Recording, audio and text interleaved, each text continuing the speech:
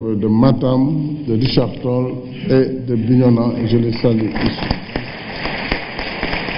Le chef de l'État a réaffirmé son ambition d'œuvrer au développement de la recherche scientifique et technique au profit d'une croissance durable et partagée dans le respect de l'éthique et de la responsabilité.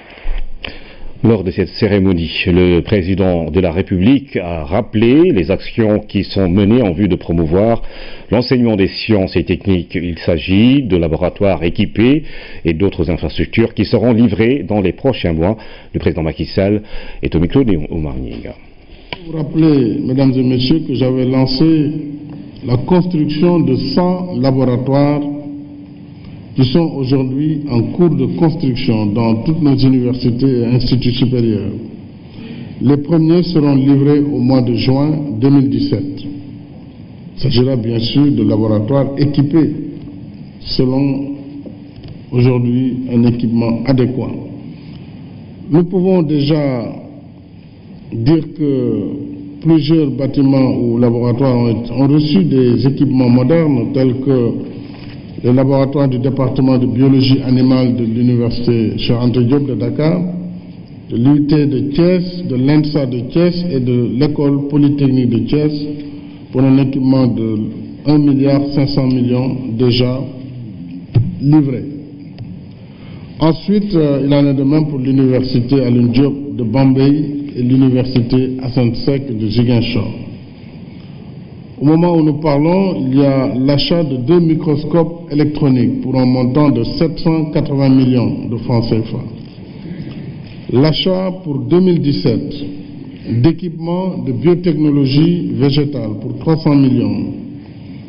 Et plus important, le projet de supercalculateur où une signature a été faite lors de mon voyage à Paris au mois de décembre à travers une convention pour l'achat, la maintenance d'un supercalculateur de 321 teraflottes. Il sera le plus puissant en Afrique pour un coût de 15 millions d'euros. La création avec l'Université d'Evry d'une plateforme de génétique moléculaire en cours les travaux de la Cité du Savoir, je dois dire, ont démarré à Djamnyadjo et les premières infrastructures seront livrées cette année. Il s'agit de la médiathèque, de la maison de la science et du centre de mutualisation et de partage. D'autres infrastructures sont en cours à Djamnyadjo, notamment l'ISEP de Djamnyadjo, qui est le siège aussi de l'Université virtuelle du Sénégal et le siège de l'Autorité nationale d'assurance qualité. Alors tout cela, ce sont des choses qui sont en marche. Il ne s'agit pas de promesses ou de projets. Et je voudrais saluer dans la même veine le projet de recherche de surveillance épidémiologique et de formation, projet privé ou public-privé du professeur Suleiman Boub, que je salue, qui a aussi démarré. Il s'agit d'un projet de 9 milliards de francs CFA et je tenais ainsi à féliciter le professeur Suleiman Bouk qui, en tout cas, amplifie nos actions dans ce domaine. Dans cette édition, nous parlerons également de la célébration de la journée euh, mondiale euh, de la protection civile avec euh, l'invité du 20h, le directeur de la protection civile, Abdoulaye Nobar, qui vient justement nous parler du choix de Rufusque, entre autres, pour abriter cette manifestation. Le président de la République a reçu hier le PDG de Wari Kabirumboch et le chef de l'État ont évoqué le rachat de Tigo par Wari. Son groupe s'engage à participer au développement du pays et à faire bénéficier le grand public des retombées de cette opération. C'est le temps des Africains, a-t-il dit, en saluant le soutien du président Macky Sall aux nationaux. Nous l'écoutons. Nous remercions le, président de la République d'avoir nous a fait l'honneur de nous, recevoir. Euh, aujourd'hui, je pense que l'actualité, c'était le, rachat de, Tigo par le groupe Wari. C'était déjà pour, pour l'informer et donc et recueillir son, son, soutien et son engagement à nos, à nos côtés. Aujourd'hui, vous savez bien que Wari, ce que nous essayons de faire, c'est d'organiser, de, contribuer à organiser le pays, la dématérialisation, les, services au grand public. Je pense que ça a été perçu par le président de la République qui nous a manifesté tout son, soutien pour qu'ensemble on puisse aider encore mieux les populations, apporter encore plus de confort, plus de services au grand public et dans la, avec des coûts les moins chers. On salue, remercie même la population sénégalaise hein, pour euh, euh, ce soutien euh, pour populaire. Ça montre que, encore une fois, les Sénégalais sont très sensibles au fait que les services qui sont de, la souveraineté nationale soient aux, mains des, nationaux. ce que nous avons voulu faire à travers l'opération Tigo, c'est de faire en sorte que ces services-là soient redonnés aux populations. Je pense qu'elle est très bien sentie. On va faire en sorte d'atteindre leurs intérêts en fait. Le secret, c'est de la, la volonté de faire des choses pour le, pour le, bien public, euh, avec rigueur, de construire des, structures qui, qui, soient pérennes, qui fassent en, sorte que créer de la valeur ajoutée sociale que les, euh, les, Sénégalais, les Africains euh, sachent que est le temps, c'est le temps des Africains. Il faut que nous-mêmes nous nous prenions en charge. Euh, le président de la République l'a très bien compris et nous a manifesté moments son soutien pour faire en sorte que ça, soit une réalité, soit un signal fort pour le patronat euh, sénégalais, qu'il est là pour les, entreprises sénégalaises, il est là pour les chefs d'entreprise. Chaque fois qu'une initiative sera faite par un, national, euh, je pense qu'il sera là et c'est ce qu'il nous a rappelé aujourd'hui et pour ça, on en est vraiment fiers. Le président Macky Sall a présenté ses condoléances à la famille de Awa Hot, militante APR à Yumbel Sud, décédée dimanche sur la route de Sanyara dans un convoi de la délégation du mouvement RAMP. En déplacement hautement apprécié par la famille de la défunte qui a exprimé sa gratitude au président de la République, Omar Ning. Par ce déplacement, le président de la République rend un hommage appuyé à Hawa Hot, responsable APR à Yumbel Sud et Boki Dialoubé. Elle est décédée le week-end dernier suite à un accident à Sandiara dans un convoi de la délégation du mouvement RAMP. Devant la famille éplorée, le président Macky Sall a loué le militantisme de la défunte après avoir présenté ses condoléances les plus attristées. Tenant compte des circonstances du décès, il a rappelé les mesures fortes prises par son gouvernement pour faire face à la recrudescence des accidents sur les routes. Le président Sall a salué par ailleurs le patriotisme de Amadou Hot, frère du défunt, ancien directeur général du FONSIS, aujourd'hui à la vice-présidence de la BAD. Au nom de la famille, c'est l'ancien ministre Abdoulaye Eliman Khan qui a pris la parole pour remercier le président de la République pour ce déplacement, un geste hautement apprécié par la famille éplorée. Abdoulaye Eliman Khan sera complété par Tierno Abdulaziz Ba de Medina Gounas. Lui aussi a marqué sa gratitude au chef de l'État pour son geste. Sous sa direction, des prières ont été formulées pour qu'Allah accueille Hawa Hot au paradis. Les pays les moins avancés du continent sont à Dakar pour voir ensemble comment accélérer la mise en œuvre du plan d'action d'Istanbul, un programme mis en œuvre en 2011 pour surmonter les problèmes structurels qui se posent à ces pays. Il s'agit de parvenir à éliminer la pauvreté et dans ce combat, le numérique occupe une place centrale à Ramdawa. Malgré les efforts, ils sont restés dans la catégorie des pays les moins avancés. Ils n'ont pas pu non plus réduire de moitié leur niveau de pauvreté conformément aux OMD, d'où la nécessité, voire l'urgence d'accélérer la mise en œuvre du plan d'action d'Istanbul 2011-2020. Nous sommes aujourd'hui au quatrième programme d'action, euh, après les trois qui n'ont pas connu de grand succès. Euh, ce programme euh, permettra aux pays moins avancés africains euh, d'articuler les différents agendas dont 2030 et 2063 dans leur stratégie de développement économique et social. Au Sénégal, fort heureusement, les objectifs visés par le plan Sénégal émergent sont en, ligne avec les objectifs de ces différents agendas. Pour arriver à éliminer la pauvreté et à atteindre les ODD, il faudra aussi saisir les opportunités du haut débit. Sans la technologie, vous allez suivre la voie traditionnelle pour sortir du sous-développement, ce qui va être très long. L'industrialisation exige un accès au TIC parce que les marchés sont très compétitifs. Il faut développer les e-services. On peut aussi relever plus facilement les défis liés à la santé et à l'éducation avec le haut débit. Le numérique, une chance pour l'Afrique, c'est le ministre du budget du Sénégal qui parle. L'un des défis euh, de nos économies, des économies des pays moins avancés, c'est d'exploiter ce qu'on appelle la large bande euh, de mettre euh, suffisamment d'investissements pour permettre euh, la création d'emplois. Parce qu'aujourd'hui, avec la connectivité, une personne peut avoir plusieurs statuts. elle peut être étudiante, elle peut être entrepreneur, elle peut être investisseur. Ces pays dits moins avancés sont au nombre de 48, les 34 sont africains, le plaidoyer du ministre qu'une antenne régionale de la Banque de technologie soit implantée en Afrique.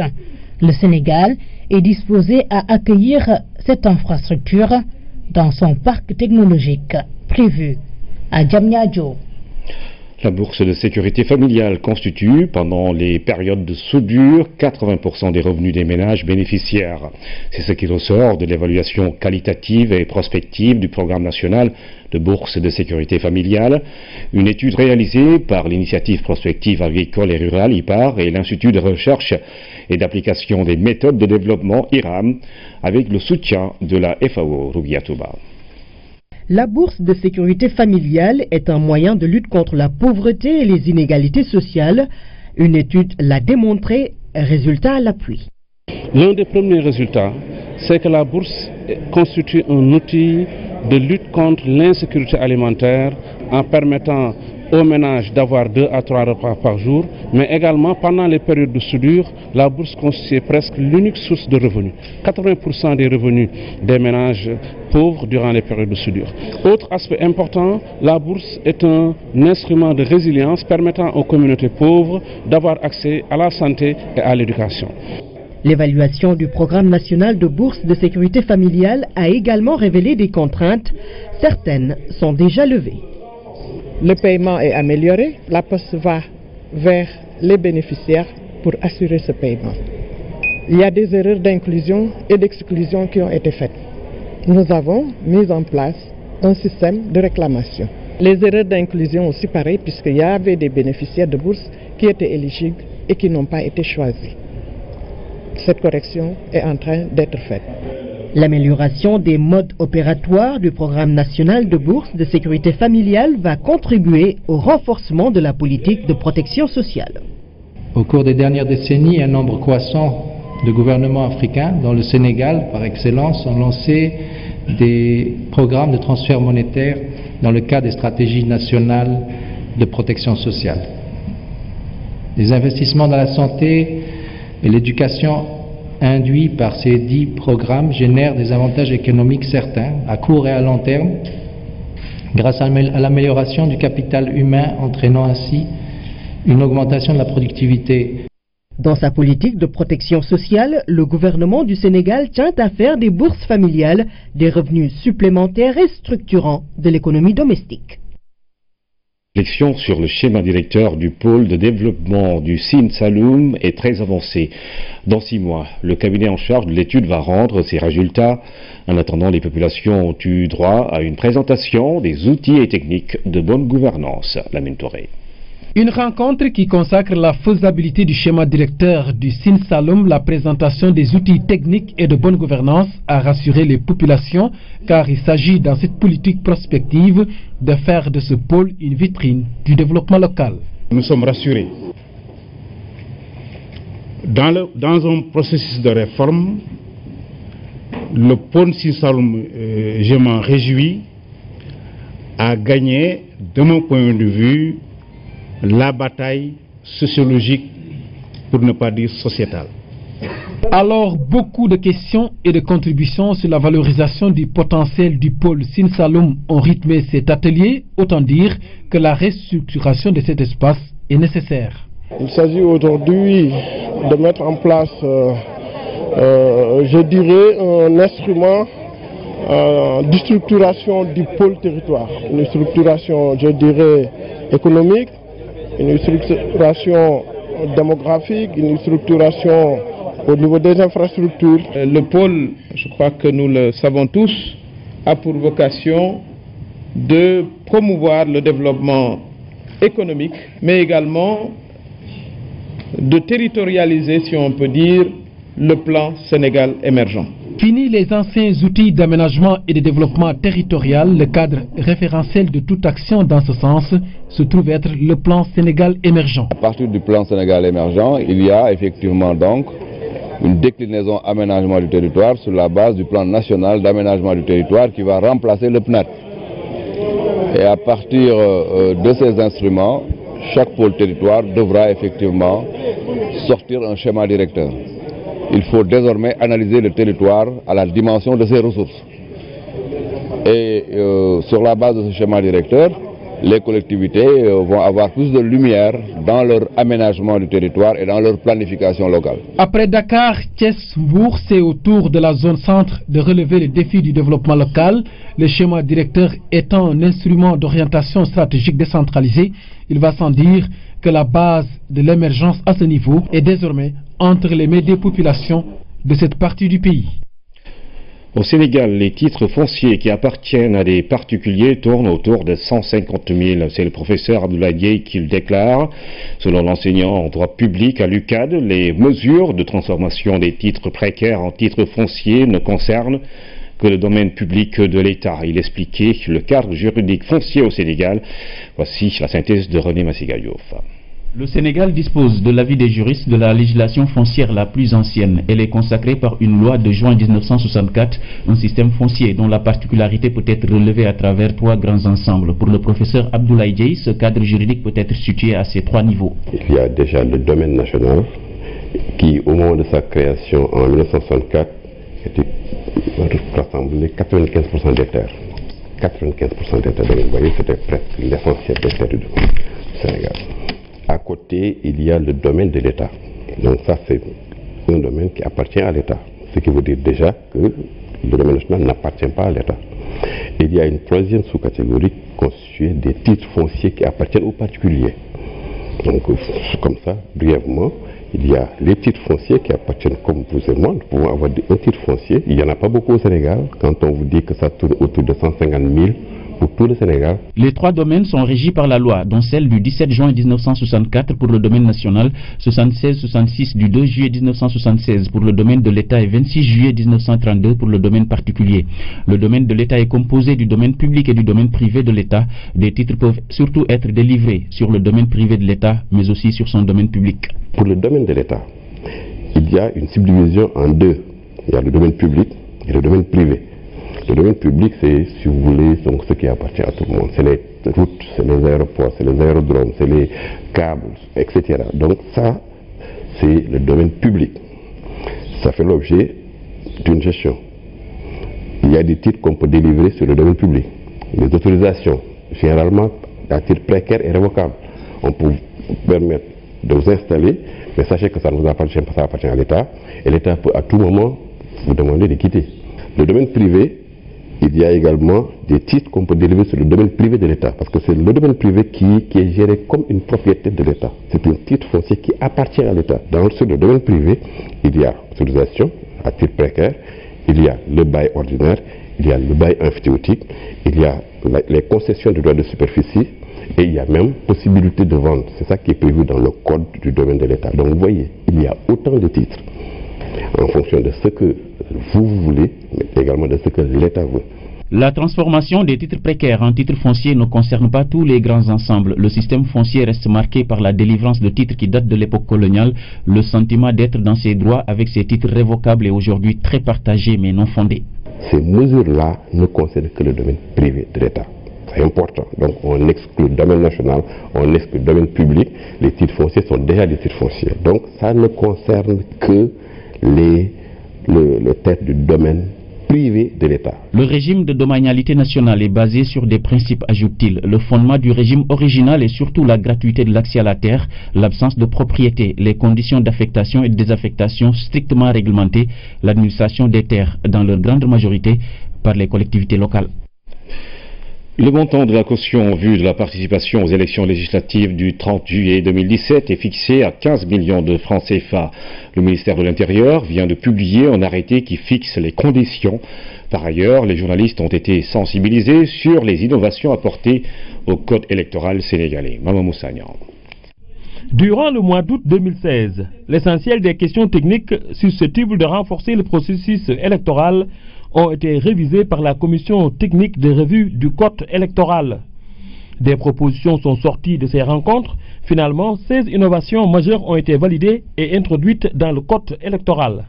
La nouveauté, c'est qu'il y a des députés qui sont uniquement dédiés à la diaspora. Ils sont au nombre de 15 et la diaspora a dû être divisée en 8 départements. Une nouveauté existe, c'est que autant pour l'intérieur du pays, la répartition des sièges est faite sur la base de l'importance démographique. Autant pour l'extérieur, le nombre de sièges va être euh, fixé sur la base de l'électorat. Pour la partie législative du Code, les titres sont passés de 8 à 10 en portant le nombre d'articles de 298 à 356, ce qui engendre des modifications sur le Code électoral. Qu'est-ce qui a changé alors? Ce qui a changé, c'est un processus divisé en deux phases une phase de dépôt matériel, mais également une phase d'appréciation de la recevabilité juridique. De façon statutaire maintenant, les couleurs sont précisées, les courants du oui et du non sont précisés, et une innovation majeure, c'est qu'il est possible d'organiser une révision exceptionnelle des listes électorales en cas de référendum lorsque les conditions le permettent. D'autres changements sont notés dans la distribution de cartes électorales. Le titre, le nom, les listes de candidats, les commissions départementales des Sénégalais de l'extérieur, des innovations bien comprises par les hommes des médias. Je crois qu'on on nous a apporté des clarifications assez nettes et c'est à nous d'apprécier par rapport à ce que Banque Ouattou Sénégal a dit et ce que les techniciens du ministère de l'Intérieur ont dit ce matin aux journalistes. Je crois que c'est extrêmement important et on va vers des joutes électorales très importantes. Parce. Je trouve que vraiment c'est intéressant parce que nous, la chose politique, on a quand même toujours de se former sur des notions parfois qu'on manipule sans pour autant les maîtriser. C'était une chance pour nous de pouvoir bien appréhender ces questions-là. Ça nous permettra, en direction des élections législatives, de pouvoir euh, voilà, être aguerris, aguerris, de pouvoir appréhender beaucoup de questions. Les élections législatives au Sénégal sont prévues le 30 juillet prochain. Le montant de la caution pour les listes candidates sont fixés à 15 millions de francs CFA du 20h, M. Abdoulaye Nova, directeur de la protection civile. Il vient nous parler de la célébration demain, 1er mars, de la journée mondiale de la protection civile. Alors, bonsoir M. Noba. Bonsoir M. Guillaume. Alors, ce sera à Rufus que, que cela va se passer. Alors, euh, pour parler du Sénégal, quels sont justement les catastrophes ou les risques auxquels notre pays est euh, confronté? Je peux dire que les catastrophes auxquelles euh, notre pays donc, est confronté sont généralement euh, les, suivantes. Nous avons les inondations, euh, l'érosion côtière, et généralement c'est des, des, phénomènes, c'est des risques de catastrophes qui sont liés donc, au changement climatique. Les changements climatiques, euh, on en parle beaucoup, mais le thème que vous avez choisi, c'est Ensemble pour la protection civile pour faire face aux euh, catastrophes. Pourquoi justement ce thème et euh, cette déclinaison sur les catastrophes plus particulièrement? En fait, le, le, thème a été proposé par l'Organisation internationale de la protection civile, qui est une organisation intergouvernementale qui a été donc créée en 1931 et le Sénégal est membre de l'OIPC depuis 1975. Et c'est en 1990, lors de l'Assemblée générale de l'OIPC, que l'OIPC a proposé aux États membres euh, de célébrer chaque 1er mars la journée mondiale euh, de la protection civile. Euh, comme je vous ai dit tout à l'heure, le thème ensemble avec la protection civile pour faire face aux catastrophes est donc un thème qui nous a été proposé, mais quand même il faut dire qu'au Sénégal, après une réflexion approfondie, euh, le ministère de l'Intérieur et de la Sécurité publique a décidé de donner, une certaine orientation donc, à ce thème en mettant le focus sur certains risques de catastrophe, notamment l'avancée de la mer et l'érosion côtière. Et comme je vous ai dit tout à l'heure, c'est des phénomènes qui sont liés au changement donc, climatique. Justement, quels sont les moyens dont vous disposez pour euh, faire face? En fait, euh, il y a un dispositif. Il faut reconnaître qu'au Sénégal, il y a un dispositif euh, institutionnel et juridique qui est relativement homogène et à ce sujet, je voudrais rappeler que le dispositif date de 1962 avec la création de la direction de la protection civile et qui a donc une mission stratégique en matière d'élaboration des, politiques et des projets de textes législatifs et réglementaires en matière de protection civile et plus tard euh, il y a la composante réduction des, risques de catastrophe qui est venue donc euh, s'y ajouter. À côté, nous avons donc euh, la Brigade nationale des sapeurs-pompiers qui est l'autre composante, mais qui a une mission beaucoup plus opérationnelle. En plus de, cela, il y a également les, les autres services de l'État qui concourent à la protection des personnes, des biens et de l'environnement. Ça, c'est le volet, c'est le côté donc institutionnel.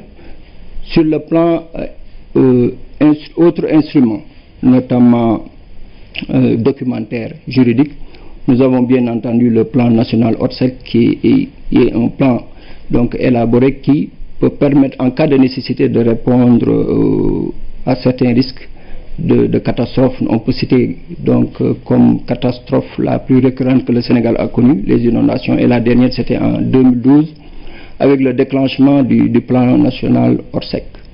Euh, vous avez choisi euh, la ville de Rufus, pourquoi donc oui. pour abriter euh, cette manifestation? En fait, en fait le, le choix, le choix est, est objectif euh, à, mon, à, mon, niveau parce qu'en fait c'est un peu lié au thème. Comme je vous ai dit tout à l'heure, le thème c'est ensemble avec la protection civile pour faire face aux catastrophes et on a voulu donner, comme j'ai dit, une connotation à ce thème en mettant le focus sur l'érosion côtière, l'avancée de la mer et la ville de Rufisque comme certaines autres localités sont confrontées donc à ce genre de, situation. Nous pouvons citer euh, la capitale au niveau du, département de Dakar. Nous pouvons également citer euh, au niveau de la région de Saint-Louis, la ville de Saint-Louis avec euh, le quartier de, de Gokumbach. Et là, nous avons voulu quand même allier la sensibilisation, puisque la mission principale c'est la sensibilisation, et également euh, euh, montrer à la face du, public euh, la réponse qui peut être apportée. Parce qu'au niveau de, de il y a une réalisation qui a été effectuée par l'État du Sénégal, donc une digue qui a été construite pour un peu ralentir, voire même bloquer l'avancée de la mer. Et demain, Monsieur le ministre de l'Intérieur et de la Sécurité publique visitera donc cette réalisation du gouvernement du Sénégal. Merci, Monsieur Abdoulaye Noba. Je rappelle que euh, vous étiez notre invité pour nous parler de la Journée mondiale de la protection civile euh, avec Rufus qui abrite la cérémonie d'ouverture. Ce sera demain donc. Ouverture de la première session ordinaire du Conseil économique, social et environnemental.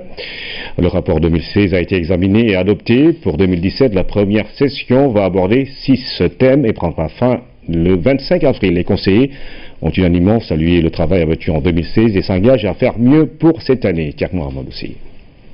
En ouverture de cette première session ordinaire, l'installation d'un membre associé Ndiaye.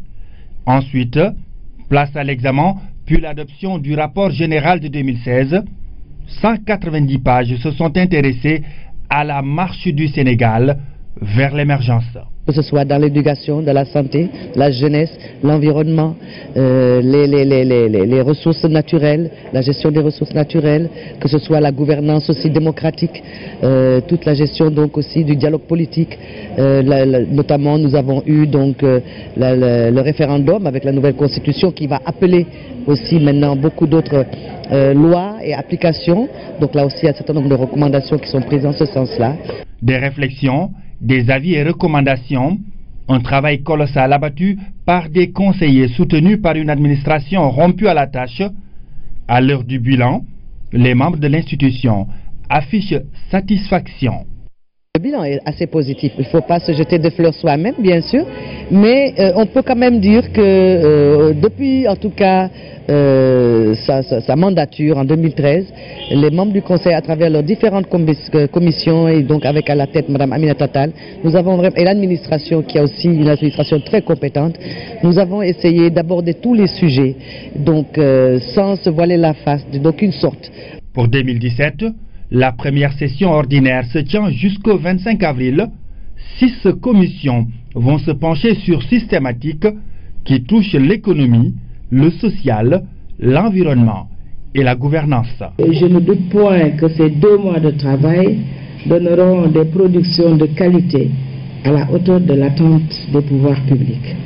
Je voudrais toutefois insister sur la spécificité de la pér- période qui préoccupe à la fois les professionnels comme les politiques, avec des échéances électorales en perspective, mais cela ne devrait pas, cela ne devrait en aucun cas constituer un obstacle à notre travail. En 2016, la mission accomplie est satisfaisante. En 2017, pour la présidente du Conseil économique, social et environnemental, l'institution doit mieux faire. Nous avons un impératif évident, c'est celui d'une réflexion approfondie et appropriée sur tous ces sujets. Et je voudrais demander à tous ceux qui ont une expertise sur un thème à l'étude, ici comme ailleurs, de prendre part aux travaux y afférents ou d'y apporter leur contribution à la manière qu'ils auront choisi. C'est dans un souci d'enrichir les débats et les rapports et dans un souci également d'une appropriation plus large possible de nos travaux. Aussitôt après l'ouverture de cette session, aux commissions de démarrer le travail de recherche et de documentation, suivra des propositions et recommandations pertinentes.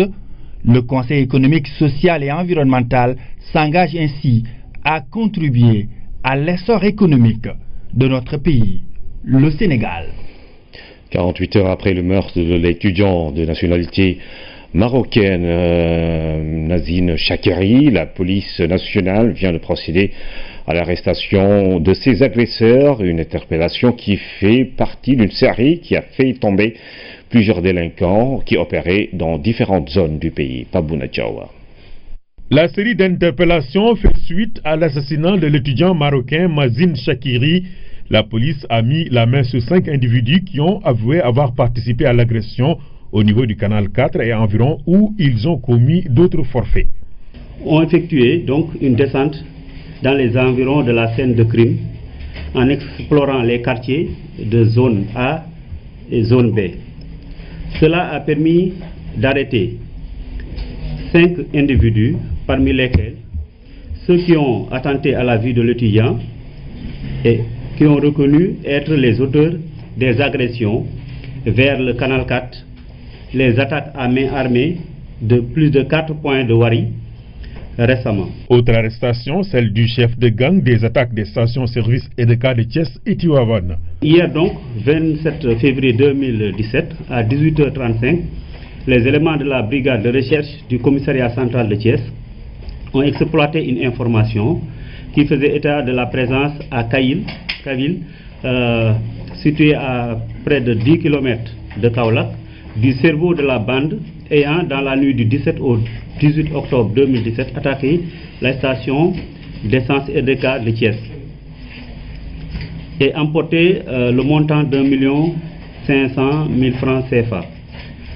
Donc ils ont fait une descente au niveau du dit village, après avis du procureur euh, de la République près le tribunal régional de Thiès.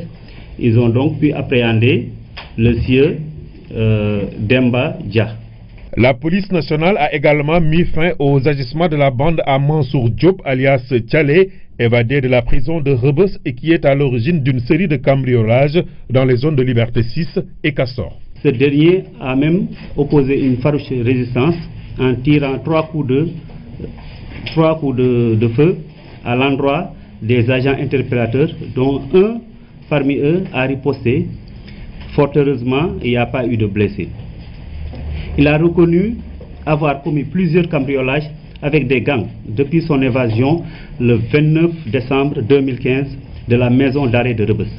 Une série de mesures et un nouveau dispositif sont en train d'être mis en place pour faire face aux délinquants. Le premier point, il s'agit d'une généralisation souhaitée des caméras de surveillance à travers Dakar. Il y a aussi le phénomène, euh, pour toujours venir à bout euh, de cette criminalité rampante, le phénomène des motos Jakarta ou bien des scooters. Il a été donné des instructions pour une immatriculation systématique des véhicules à deux roues, quel que soit leur cylindre. Maintenant, on s'est rendu compte que plusieurs, scooters ou motos euh, de, moins de, de moindre cylindrée euh, avaient, avaient, été utilisés lors des braquages et autres crimes commis. La population est invitée à plus de vigilance et à coopérer davantage avec la police nationale. La communauté catholique entre en carême demain. Ces 40 jours de jeûne et de pénitence commencent par l'imposition des cendres. Le mercredi des cendres, sens, symbole et provenance, c'est avec Françoise Sec.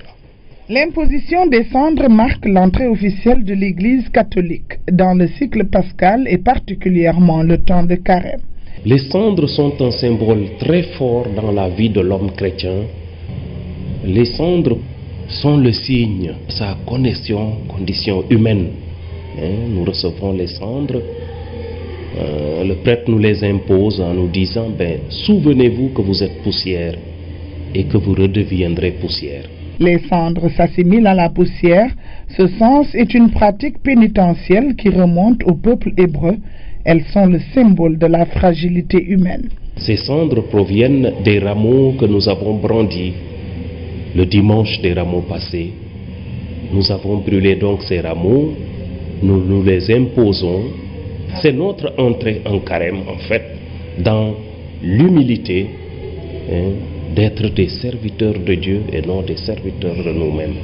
Cette attitude d'humilité et de reconnaissance de sa faiblesse se traduit par la pénitence, le jeûne, une période pendant laquelle l'Église catholique offre trois moyens d'imiter Jésus. Nous sommes invités hein, à jeûner, à prier, mais aussi à faire l'aumône, comme nous le dit le Christ dans l'évangile de Matthieu. Vous avez reçu gratuitement, bien donnez aussi, aussi gratuitement. Toute la vie chrétienne est carême. Il est toujours invité, le chrétien, à approfondir, à consolider sa foi. Le carême est aussi une période de joie, hein, d'une profonde joie puisqu'il nous donne l'occasion de nous retrouver autour de l'essentiel, la charité fraternelle. Pendant 40 jours, les fidèles catholiques vont jeûner et prier afin de renaître de leurs cendres par la résurrection du Christ le jour de Pâques. Bon, début de carême à tous les chrétiens du Sénégal. Culture, 25e Festival panafricain du cinéma et de la télévision de Ouagadougou, la journée du Sénégal a été célébrée ce mardi au programme conférence de presse de présentation de l'état actuel du 7e art dans notre pays et lancement du livre Le cinéma sénégalais Saint-Ben Ousmane, précurseur et le legs, ouvrage signé Maguette Diop, envoyé spéciaux à Ouagadougou et l'âge Malikdien au Minour. Depuis 2013, l'État du Sénégal, à travers la direction de la cinématographie, accompagne les cinéastes sénégalais sélectionnés au FESPACO. Mais c'est la première fois que le Sénégal dispose d'un stand au sein du marché international du cinéma et de l'audiovisuel qui tient depuis 1983 en marge du FESPACO. De plus en plus, nous allons quand même euh, à la rencontre, nous irons à la rencontre de ces grands marchés, qu'ils soient africains, européens ou asiatiques, pour aussi positionner cinéma.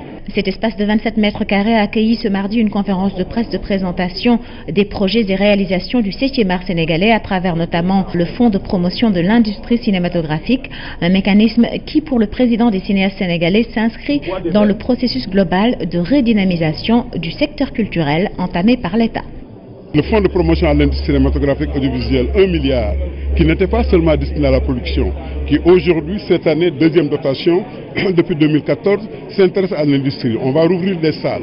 Nous avons financé par exemple symboliquement la salle de Ziguinchor, qui était fermée depuis 20 ans. L'État du Sénégal est en train de faire de grandes choses, pas pour le cinéma seulement, mais pour les industries culturelles. Si vous voyez, le budget de la biennale a été doublé. Si vous voyez